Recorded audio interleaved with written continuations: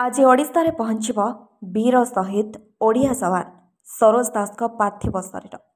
ଢେଙ୍କାନାଳ କାମାକ୍ଷାନଗର ଦିଘିରେ ତାଙ୍କର ଶେଷକୃତ୍ୟ କରାଯିବ। ଅପରାହ୍ନରେ ଶହୀଦ ସରୋଜଙ୍କ ପାର୍ଥିବ ଶରୀର ଭୁବନେଶ୍ୱର ବିମାନବନ୍ଦରରେ ପହଞ୍ଚିବ ବୋଲି ସୂଚନା ରହିଛି। ସେଠାରେ ଶହୀଦ ସରୋଜଙ୍କୁ ଗାର୍ଡ ଅଫ୍ ଅନର ପ୍ରଦାନ କରାଯିବା ପରେ ସ୍ୱତନ୍ତ୍ର କରିଡରରେ ଜନ୍ମମାଟି କାମାକ୍ଷାନଗର ଦିଘି ପଞ୍ଚାୟତର କେନ୍ଦୁଢିପକୁ ନିଆଯିବ ବୋଲି ଜଣାପଡ଼ିଛି।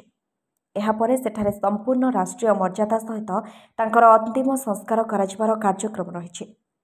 ସୂଚନା ଥାଉ କି ସିକିମ୍ର ପ୍ରଳୟଙ୍କରୀ ବନ୍ୟାରେ ଶହୀଦ ହୋଇଛନ୍ତି ଓଡ଼ିଆ ପୁଅ ହାବିଲଦାର ସରୋଜ ଦାସ ଦୁଇ ଦିନ ଧରି ନିଖୋଜ ରହିଥିବା ପରେ ଭିଡ଼ିଓ କଲ୍ ଯୋଗେ ଫଟୋ ଦେଖି ମୃତଦେହ ଚିହ୍ନଟ କରିଥିଲେ ପରିବାର ଲୋକେ। ଏହି ଭୟାବହ ବନ୍ୟାରେ ମୋଟ ତେର ଜଣ ଯବାନ ନିଖୋଜ ହୋଇଯାଇଥିଲେ। ଲୋକଙ୍କୁ ଉଦ୍ଧାର କରିବାକୁ ଯାଇ ଏହି ସମସ୍ତ ଯବାନ ଜଳସ୍ରୋତରେ ଭାସି ଯାଇଥିଲେ। ଶହୀଦ ହୋଇଥିବା ଓଡ଼ିଆ ଯବାନ ସରୋଜ ଦାସଙ୍କ ଘର ଢେଙ୍କାନାଳ ଜିଲ୍ଲା ଅନ୍ତର୍ଗତ କାମାକ୍ଷାନଗର ଦିଘି ଗ୍ରାମରେ। ଉକ୍ତ ଗ୍ରାମର ରାମଚନ୍ଦ୍ର ଦାସଙ୍କ ପୁଅ ସରୋଜ ଦାସ ଦୁଇହଜାର ବାର ମସିହା ଅକ୍ଟୋବର ଏକୋଇଶ ତାରିଖରେ ସେନାରେ ସିପାହୀ ଭାବରେ ନିଯୁକ୍ତି ପାଇଥିଲେ।